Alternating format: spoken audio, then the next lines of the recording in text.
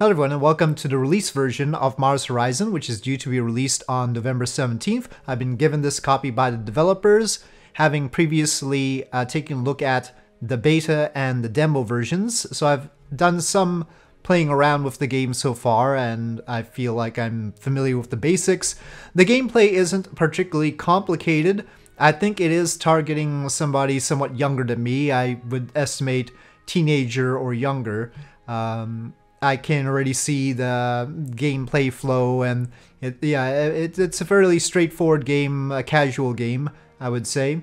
And but it has the promise to introduce people to certain hardware, uh, and my hope is that if somebody's been playing something like Kerbal Space Program or somebody's interested in space flight in general, that when they play this game, they'll learn about the systems that exist and will then be able to search for them uh, if they make the transition between stock Kerbal to realism overhaul, for instance. They'll know what the stages are that they should be looking for in the rather voluminous part list in Kerbal Space Program with realism overhaul. So, um, yeah, uh, or if they are just interested in spaceflight, they'll know what kind of things to look for, like the Vanguard rocket, Able stage, those kinds of things, Sputnik, Vostok.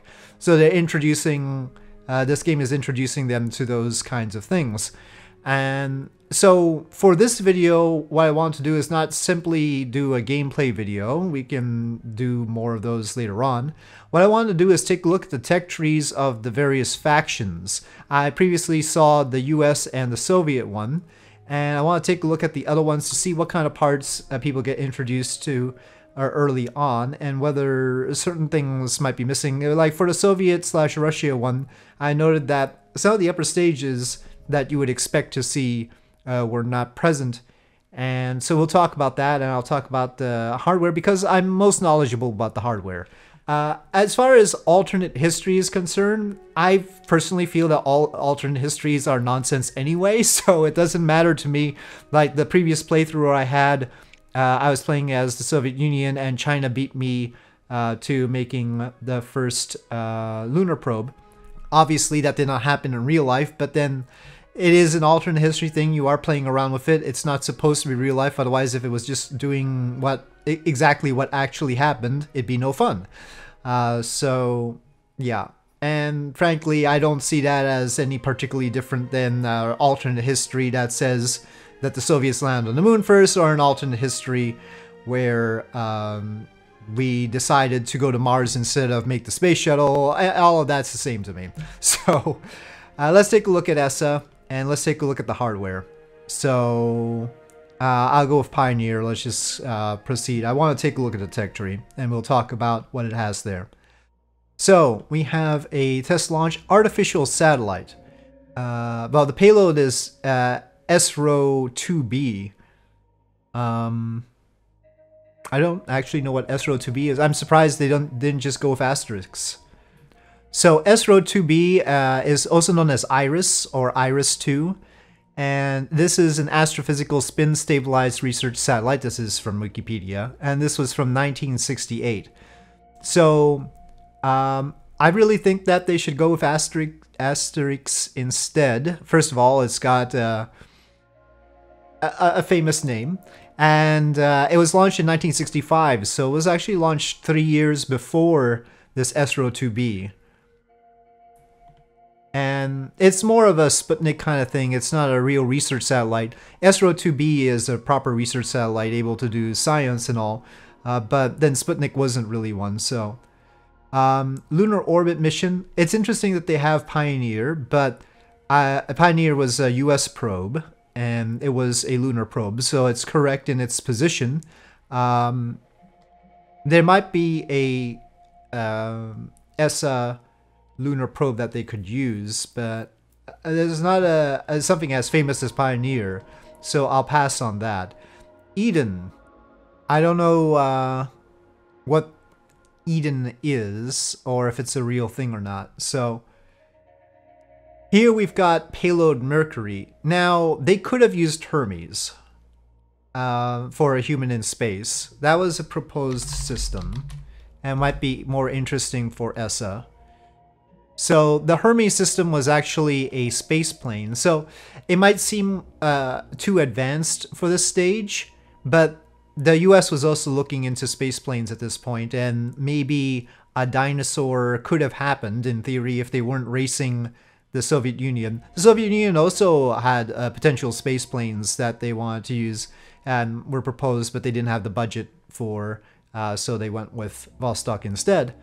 But uh, actually, Hermes looks a lot like the Soviet uh, style one, though it, it, looks like a Soviet style one on the front end and a Dyna-Soar on the back end. But basically, all of all of the um, space plane versions of the early human in space capsules uh, look very vaguely the same.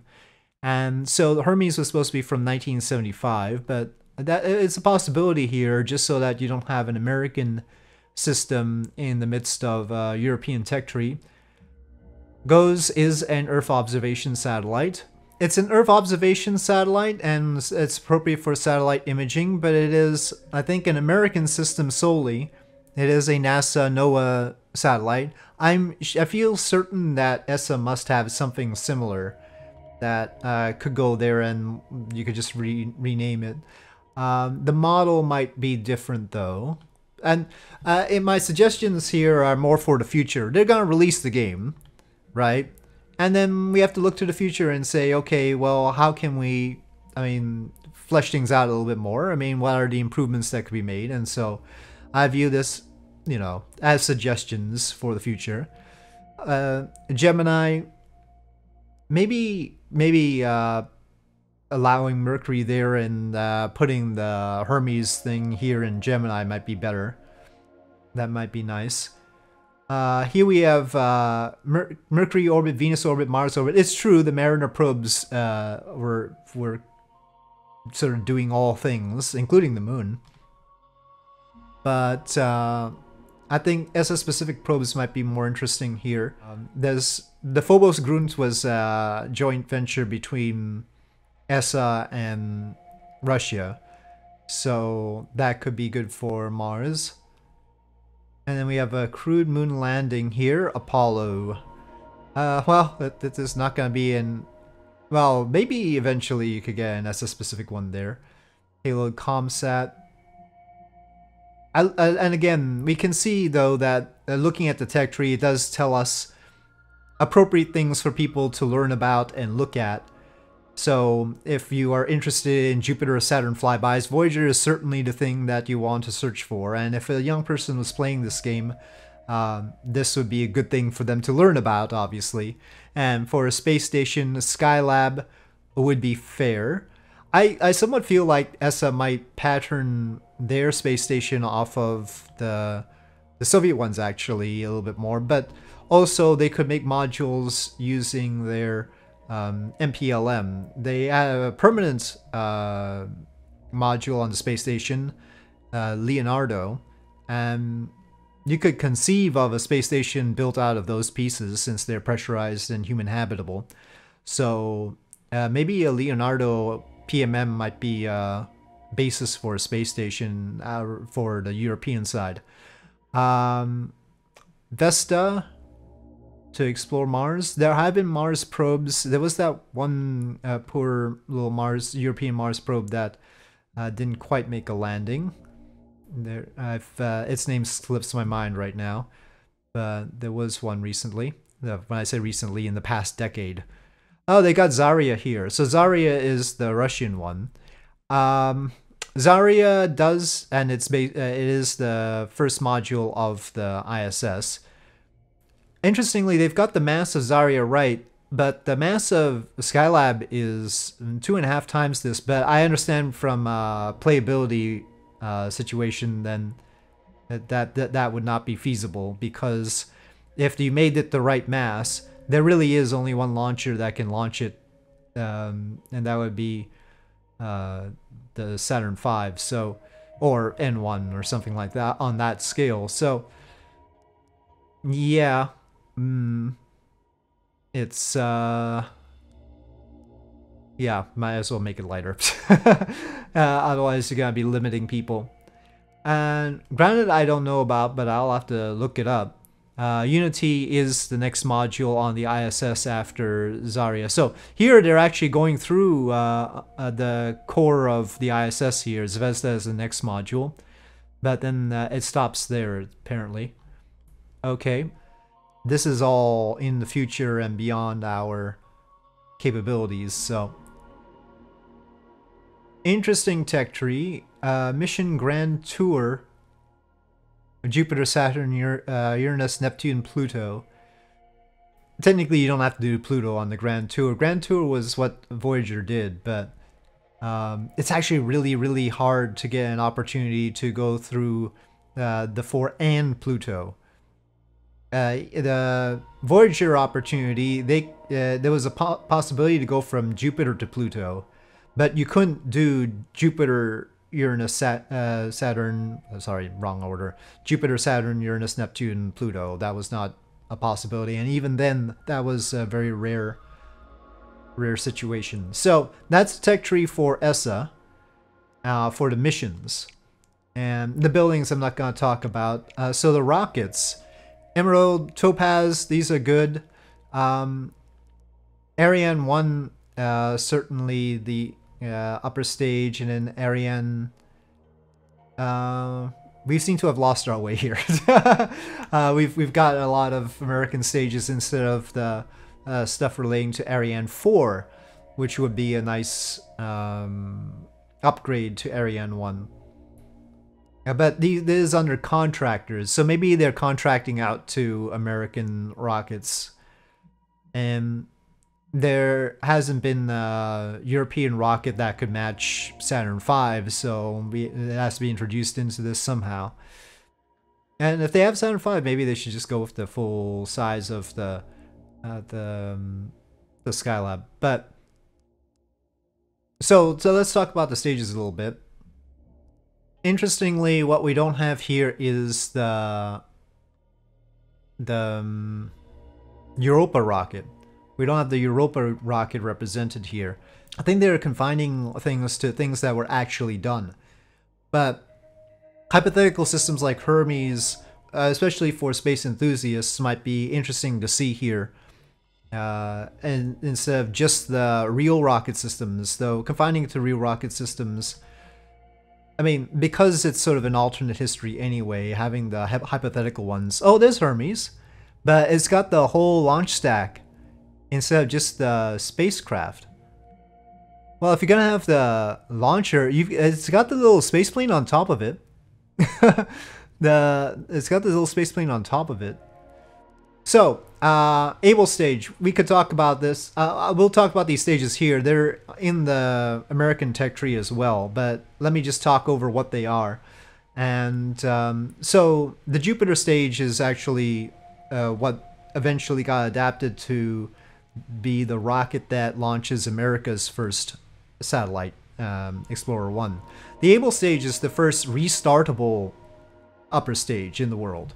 Uh, so it was able to restart in orbit, and its engine was so important, the AJ-10, that practically everything uh, uses a derivative or I, I don't know. Some of them uh, some of the AJ10s that eventually occur are barely similar to the one that actually was placed on Able, but the AJ10 on Able eventually becomes the AJ10 on Delta. But there's also an AJ10 on the Apollo service module. AJ10 uh, 190 is on the space as a space shuttle orbital maneuvering system engine, which is what completes its orbit and deorbits it. And so the AJ-10s are all over the place. In fact, the Orion service module also uses an AJ-10. So it's all derived from this Able stage way back when. The Scout stage, um, the Scouts I think are still being used. There, anyway, it's a solid rocket that launches little tiny satellites, and it was used for many decades. Uh, Jupiter upper stage related to the Jupiter lower stage, again, America's first satellite kind of thing. Um, Ariane 1, definitely European. Many satellites launched with the early... Uh, Ariane 1, 2, 3, 4 are very similar. So, yeah, but uh, they are satellite launch vehicles. Atlas uh, was used to launch Mercury. And Atlas in combination with the Centaur stage is was launched uh, was able to launch missions to the moon and eventually the advanced atlases and advanced centaurs launch missions to other planets. And the current atlas the the booster is no longer related to this atlas but the centaur stage the current atlas that they launched these days atlas 5 the centaur stage is related to this centaur.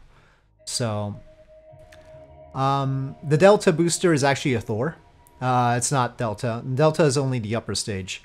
Um, the booster is just the thor. The reason why they've called the booster Delta is because Delta Rock it's overall called the Delta Rocket. It's named after the upper stage. So they eventually called it the Delta Rocket, even though they retained the name Thor for the booster. It ultimately became a long tank Thor when they made it longer and uh, augmented when they put boosters on it and stuff like that. But um, Delta 2 is ultimately derived from this, and it was a very recent rocket that only a few years was it last year that it got retired? Um, so it's had a long, long history 50, almost 60 year history, I want to say. Uh, Star 37 is a little solid upper stage. Uh, it actually often got put on top of the Delta rocket. And uh, that's for sending uh, payloads to higher orbits like like other planets uh, occasionally, but also to geosynchronous orbit.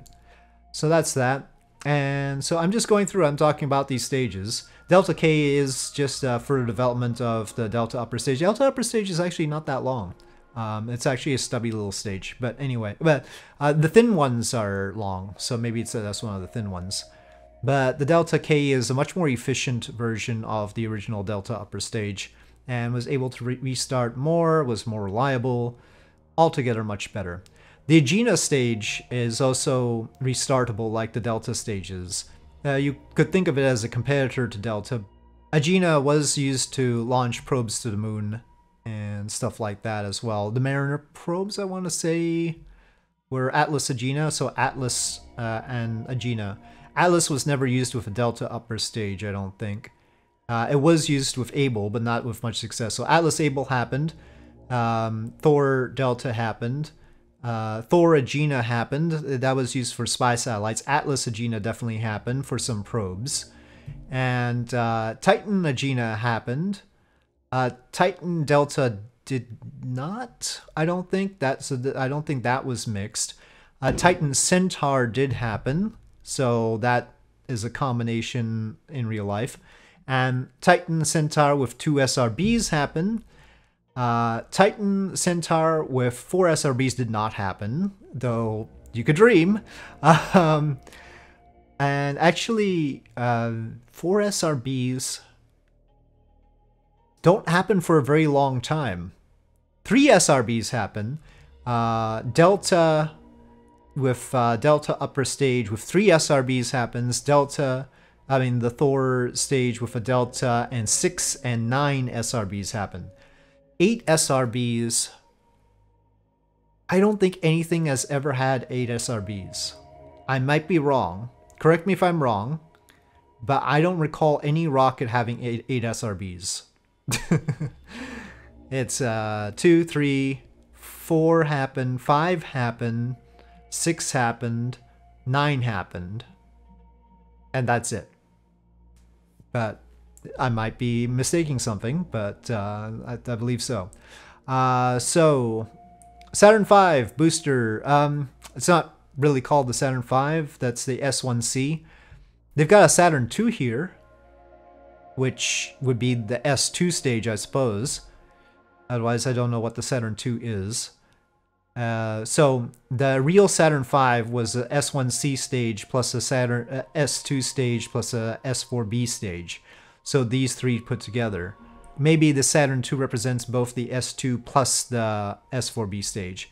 Uh, I think what they mean for us to do is the Saturn V goes with the Saturn II, which also has the S4B. And uh, Saturn 1B combines with the Saturn S4B stage.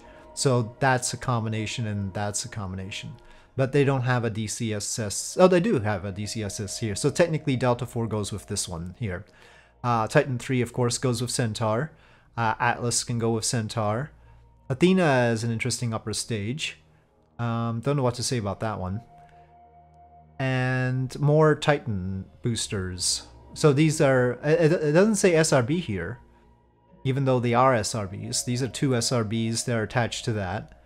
So really significantly improves the payload capacity. And these are the boosters for Delta 4 to make it a Delta 4 heavy. Okay, and so these, this, this is like the American block. Except, uh, I don't know about Athena actually. Uh, Ariane 5 booster and uh, Ariane 5 SRBs. It doesn't. Oh, here are the SRBs. So technically, you have to take this, combine it with those, and add the Ariane 5 upper stage. And that's a system that's on par with Titan with its two boosters if you use a um, Centaur upper stage. So approximately the same thing, actually. I could have just done Ariane, but it's nice to have choices. It's nice to have choices. And uh, it's also approximately the same as a Delta 4, not quite as strong as a Delta 4 Heavy. If you use Delta 4 with SRBs, Ariane 5 is about the same. So you've got three very similar systems here. Titan, Delta 4, and Ariane 5. Delta 4 should not in any way be confused with Del the original Delta. The original Delta is a tiny little rocket. The size-wise, I mean, I don't know if they've got it like that here, but it, seems more or less. Uh, Delta is the tiny one. It actually should use a small launch pad, probably. Uh, Atlas is larger uh, than Titan, then uh, and Titan is on par with uh, Delta and Ariane 5. Though Titan without the boosters is probably it's actually fairly light. It's about the same as Atlas. And then we've got the Saturn stuff. Those are big. Saturn 1B has a large. Saturn 5, well, I mean, I guess at one point they did launch them off of the same pad, so I'll leave that be. Okay, so, and then we have Ariane 6, which is a future system that's going to be coming up. And the Ariane 6 boosters, very good and then SLS, I guess they'll contract out for those. Uh, they've got SLS uh, Block 1B upper stage, which is the bigger upper stage, so that's nice. Capacities make sense. All right, so that looks like a very nice tech tree. Um, it's got some distinctive European stuff. Uh, yeah, I mean, uh, it's pretty good. Let me, because uh, I wasn't able to see the later eras on the other tech trees, so let's go down the list. So is the American one really that different? So we see Explorer probe, so that's different. Um, we got the same Eden thing. I guess we'll pass on that because uh, they, they just ultimately used Mercury, but they launched uh, animals into space other ways, strapping them onto an Atlas rocket. But anyway, um, so this part looks similar. Gemini is the same. And again, it might be more interesting to have two possibilities here because the more possibilities, the more variations it might be helpful to have. So a Gemini plus a Dyna-Soar, that's D-Y-N-A-S-O-A-R by the way. Um, Mariner is one thing. I mean, Mariner really dominated, so I'll leave that be. If anybody's gonna look up something, let be Mariner. Apollo is Apollo. Uh, you could have a lunar Gemini thing. Uh, that was hypo hypothetical, so. Uh, Pioneer probe. Uh, as, uh, it might be interesting to have both uh, Pioneer or a Voyager uh, as choices. Viking lander for Mars is right. Skylab is certainly the first space station here.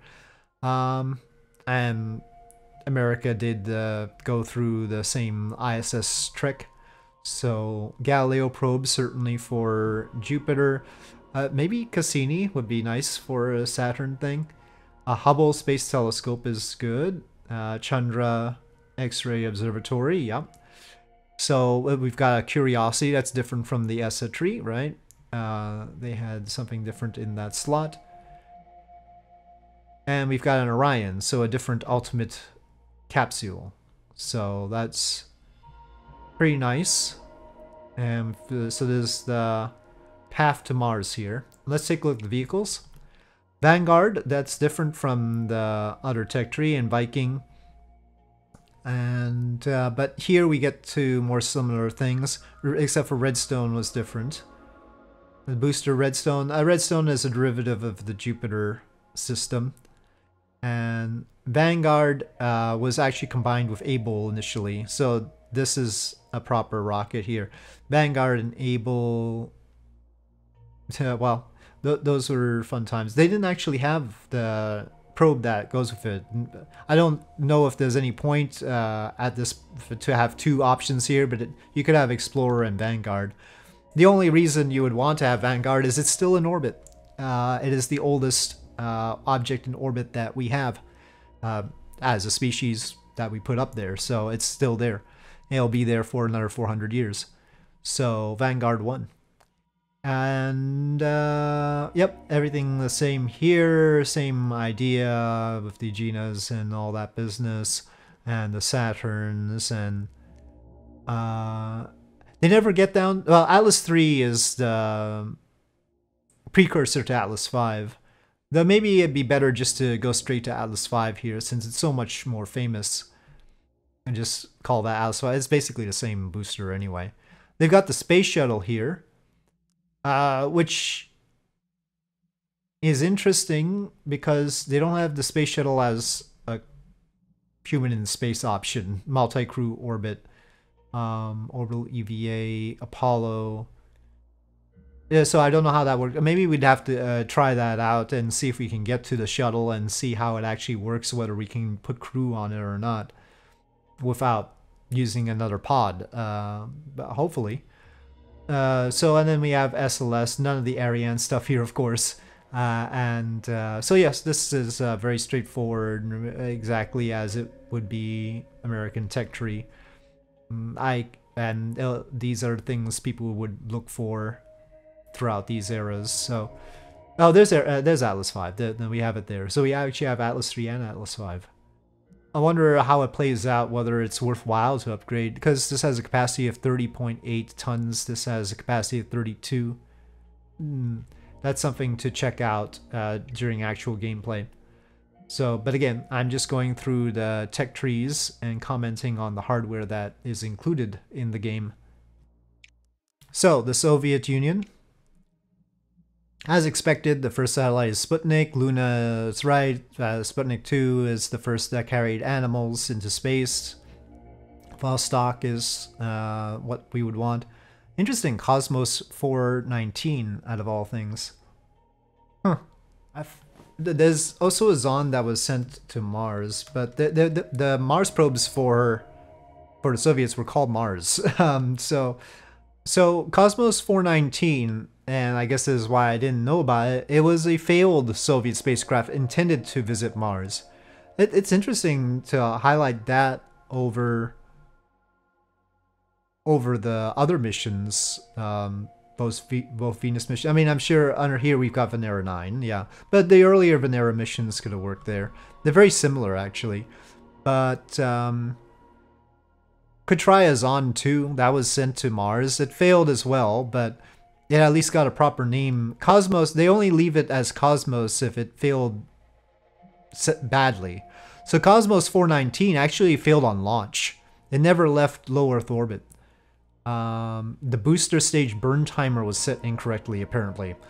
So that's a little bit sad. Zond 2 um, actually got uh, to on its path to Mars. It just lost communication. So it might have actually pa passed by Mars even. And again, the other Mars probes uh, tend to be called Mars. It was Mars 1, 2, 3, 4, 5, 6, 7. Not particularly successful overall, I have to admit. So, yeah. Uh, Voskhod, though Mars 4 actually... No, that, that wasn't... Uh, there was one that actually managed to land. Mars 2 uh, worked well for 362 orbits.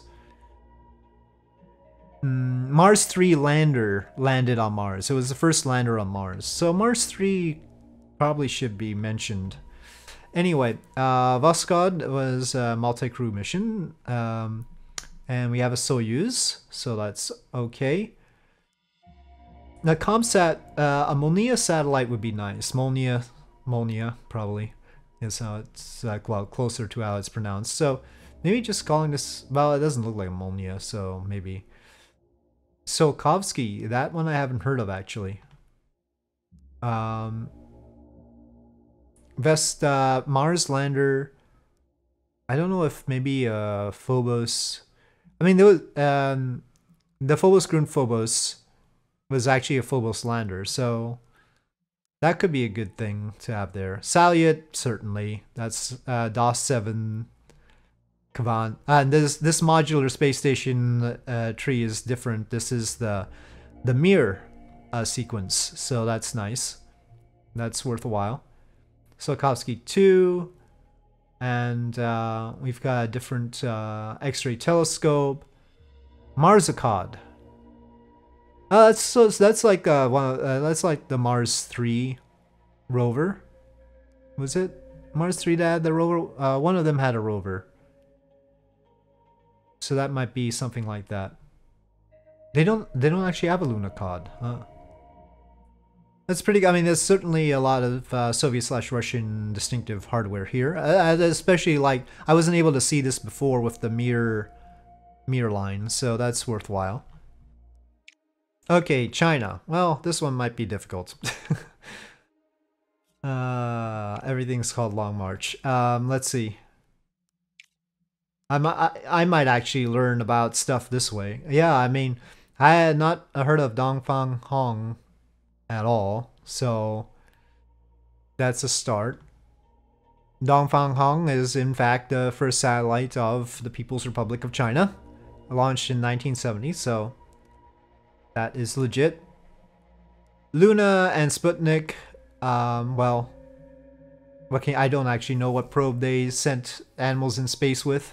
Probably just the main spacecraft, so, but I have not heard of this one. Shu Guang? Let me take a look. But this is sort of what I hope people will experience with the game in that they're gonna learn about the systems.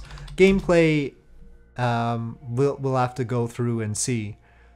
So, uh, Guang means dawn, dawn, dawn, and first crewed spacecraft proposed by uh, China. So that's so these are hypothetical things. So that's good. Uh, actually, this is much better than I thought it would be uh, for the Chinese tree. Shenzhou is uh, what they have, Tiangong for the space station. So this is, uh, um, it's Tsiolkovsky and uh, Vesta here, but there genuinely aren't many. Actually, the United States is the only one that has gone to. I mean, the I think ESA participated as well, but uh, and had some probes to the outer planets, but the Soviets do not, did not go to the outer planets, as far as I know, and China has not either. So, and yes, this uh, Xuntian, I suppose, is a uh, Chinese space telescope. It is planned. It has not actually been launched. So that's a planned space telescope, Tianwen. Insight, interesting. Okay, okay, okay. So this is a Chinese thing. It is, it's known as Insight, but I don't know if that's. I mean, uh, that's the translation of the Chinese name. That's not the actual Chinese name. I don't think. Uh, well, it's an English word, but it's a. Um, its fuller name is Hard X-ray Modulation Telescope, or HXMT. So that's what that is. Uh, confusing when there's another thing called Insight, but all right. So that that is a real Chinese thing. All right. Uh, and here we have uh, a Chinese advanced spacecraft. So that's good. All right. So we've got uh, we've got some distinctively Chinese things in this tech tree that are worth looking up and learning about, and actually probably should be made for realism overhaul and uh, Kerbal Space Program. Actually, uh, this is a good thing. I'm learning about satellites that we don't we don't have available in Kerbal Space Program, uh, to the best of my knowledge. So might be things to model. I do wish they had uh, India, which has been doing some significant space missions. I don't see why not, why India would be excluded when it's, you know, sent a lunar lander out, has uh, a Mars orbiter and uh, and a lunar orbiter, and has a planned crewed mission. So, Osumi, yeah, that is familiar. Hiten, I don't know about, so that's interesting. Um, it yeah, it uh, released a small orbiter called Hagoromo, which is uh, which made it into lunar orbit. So that's legit. We got a lot of these this Eden thing for animal in space. That's fine. Mercury, um, hmm. well, uh, I'd pass on that. Sakigake, I have not heard of. So again, learning about stuff. Pathfinder. Oh, okay, so that's Pathfinder in uh, in English. That would be Pathfinder uh, or Pioneer. Uh, first interplanetary spacecraft for the Japanese, and the first deep space probe to be launched by any country other than U.S. or Soviet Union, according to Wikipedia. Uh, so it oh it was the Halley comet uh, flyby. Okay, yes, I know about that. Then I didn't know its name, but the uh, during the Halley Comet flyby, uh, when when it came about the previous time, everybody tried to launch stuff to it. Uh, the U.S. actually sort of missed out because of Challenger. One of the things that they were rushed about with Challenger was they were trying to get the Halley mission uh, launched uh, afterwards. It, uh, Challenger wasn't the Halley mission. the Halley mission was supposed to go on one of the subsequent space shuttle missions. Um, but yep, that did not work out. Uh, so Gemini, I guess uh, that I mean there's no there. I, have heard of plans for uh, Japanese spa- uh, crewed spacecraft, but I don't have anything definite on that. Nozomi was a Mars orbiter. It didn't actually reach Mars. Though uh, Bepi Colombo might fit here too, because uh, uh, it's uh, headed to Mercury orbit. Uh, the um, the Japanese have a little probe on Bepi Colombo called Mio, and so that that would be part of this. Apollo again. Uh, well, the Japanese sector was always going to be the hardest one. Oh, we didn't take a look at the Chinese launch vehicles or the Soviet launch vehicles. We let, I'll go back and do that. Um, Voyager, Vesta. So yeah, this is probably the thinnest one in terms of distinctively Japanese payloads, but I suppose that's to be expected. But uh, uh, one thing that they could do probably is instead of something like Voyager, what what one thing they don't have is asteroid stuff. Yeah, I mean there isn't really uh, asteroid intercept thing, so maybe just have in place of Jupiter or Saturn flyby or one of these. Maybe a Hayabusa. It'd make the Japanese really happy if you put in Hayabusa. Um, that would be good. Um, having one of the modules for the space station be HTV might not be a bad idea. So those are possibilities. I'm pretty sure they have their own space telescope or tried to. There's at least a attempted space telescope. I forget the name. Vehicles. Lambda 4S. Well, I was looking for that. So that's very good. That's one of my favorites. um, so Lambda 4S, I'm happy to see that there. Uh, it is, I think, the smallest uh, orbital rocket around. So uh, I think it's smaller than than Vanguard. Vanguard was otherwise the smallest, as far as I know, in terms of mass. And otherwise, a lot of American stages, but Mu, uh, the Mu stuff those that's legit. And um, you know, they add the delta delta stuff here. You could just have an H1 uh, or N1. The the Japanese rocket was N1. It's basically a, a copy off of Delta. It was licensed. They licensed the Delta stuff and they turned it into N1. So that's a possibility and uh, H1 was a fur development. There's a Hope vehicle. I guess, okay, so I, am seeing a trend here. So Hermes and Hope and this stuff, the, they're in the place of the space shuttle. So I guess these are all the same sort of reusable space shuttle things, and maybe they carry crew because they're all in the same place. I wonder if the did they have Buran in the Soviet one? We didn't actually check the launch vehicle, so maybe Buran is there too. So H2A, yeah, that's good. Um, basically uh, taking the place of a Ariane. H2B may be on there, uh, maybe a good thing to have here. Um, that's more useful, it's heavier. Uh, and if they have Ariane 6, they should have H3. H3 is the basically if you think of H2 as the Ariane 5, the Japanese have a H3 coming up. That's the equivalent of an Ariane 6. So that might be nice. Okay, let's uh, go back and take a look at the launchers for the other tech trees, which I missed. Okay, so Long March 1. Well, what can I do? Uh, this is going to be a lot of Long Marches. This is Long March 2 here. Um, Long March 2, uh, they use for launching crew. So it, it seems to be placed in the Atlas location, so that makes sense to me. Um, and they supplement with boosters. That happens. That's for for the one that they use for Shenzhou.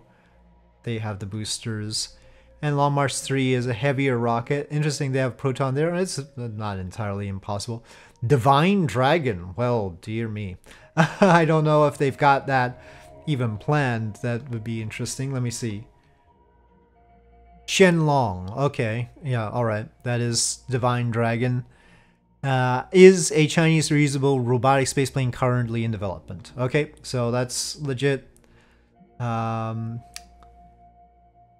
and then Long March 5, and then Long March 9. So uh, th there's a fair number of rockets here. DC, uh, uh, some of these, the, the American parts don't necessarily need to be here. All, you could just rename them like some variant of the Long March 3 and it'll be alright. So there's like Long March 3B and uh, like Long March 5, there's uh, 5B, 5C. It's just sort of disorienting to see the Able stage in this tech tree uh, and stuff like that. Uh, I'm worried that as far as an educational thing goes, it might be confusing. Maybe people might think that uh, everybody actually used able stages and delta stages, which is obviously not the case. Um, or N1 boosters. Okay, speaking of which, let's go to the Soviet uh, launch tree. So if it's gonna be an educational thing, I'm just uh, I, I, can see the gameplay reason for having those in the tech tree. I'm just worried about what kind of mes message it sends educationally, that's all. So, vehicles. And there is absolutely no reason for the Soviet tech tree. Oh, at least they have Block D there.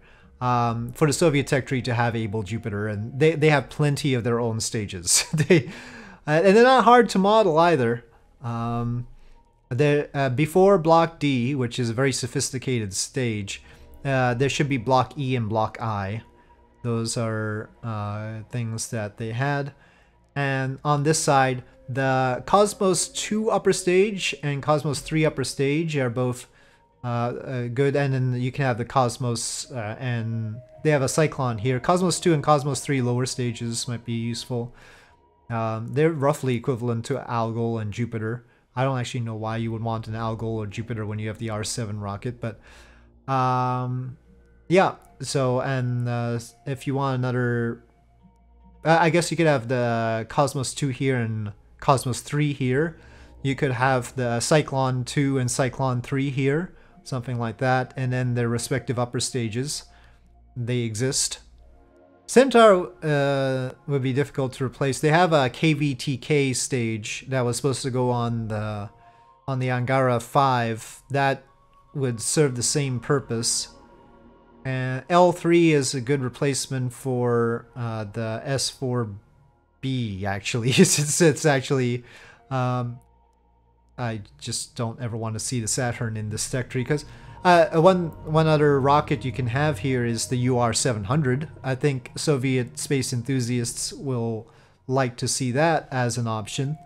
And the Saturn 1B was act is actually the equivalent of the Proton rocket, which is here. Uh, so those are equivalent rockets. And oh, we do have Buran. So that we have. And we have a Zenit. So the Zenit is derived from the Energia rocket. Having uh, Energia here, a light Energia as an option or something like that, uh, these proposed kinds of things might fill this out without having the American stuff in. Um, but yeah, they, they actually have the specific engine names here for the Zenit uh, booster and upper stage. Previously, they had just put the stage name. They didn't like write AJ10 there or anything like that. Uh, here, uh, in this uh, particular case, they're very much more specific uh, about what the stages are. That's interesting. Uh, Yenisei, I've never heard of. Oh, it's that Soyuz 5 thing. Oh, okay. Well, I I guess uh, that has to be allowed. Angara is another option. In fact, Angara could go here instead of the like Titan. Well, it's a derivative of Buran, so it could uh, replace Titan 4 here. And um, then again, we can get rid of DCSS with KVTK. But yeah, uh, at the very least, I would like the Soviet tech tree to not have American parts. again, these things, the, the stages are all tubes. so uh, they're tubes with little black nozzle at the end. It shouldn't be too hard to model them. Anyway, so I don't know if this has been completely boring or not. Uh, I just thought that I would talk about the parts that were included in the game. Uh, obviously, each tree has some specific parts. Some trees are harder to diversify than others, like the Japanese one. Heck, in real life, the Japanese did borrow uh, some rocket parts initially from uh, the American space program. So, yeah, but uh, I think filling that out with more unique parts will make it more interesting for replayability. And I'll look forward to eventually getting to the space shuttle at least, uh, and hopefully to Mars missions in future videos in Mars Horizon. But for now, I'll leave it at this discussion covering the topic that I know most about, I feel. I mean, not that I know a lot about it. There are people who know more about this hardware than I do. Oh god, there was no Falcon 9, was there? Um, I just realized something. Yeah, there's no Falcon 9.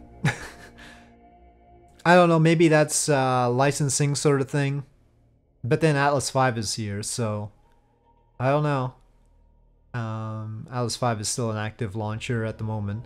A Vulcan is not here either, which is a future system, New Glenn. But of course, we don't want to flood the thing.